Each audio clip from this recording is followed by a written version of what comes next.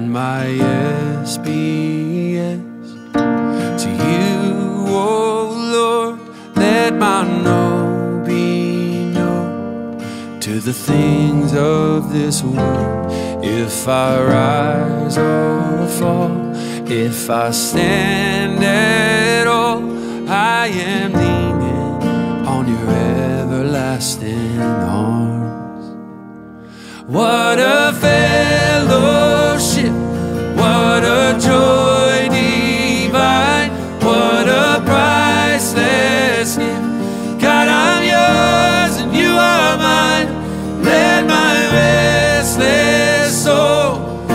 tristeza.